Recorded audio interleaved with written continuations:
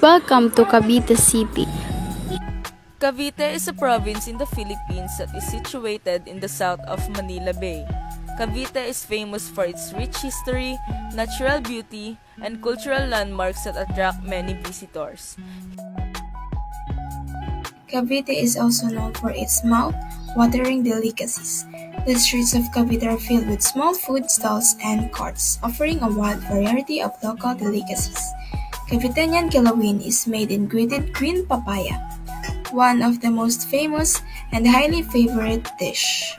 Quesong puti o casillo, made of Carabao's milk, a Filipino native white cheese wrapped in banana leaf. Tamales, one of the most favorite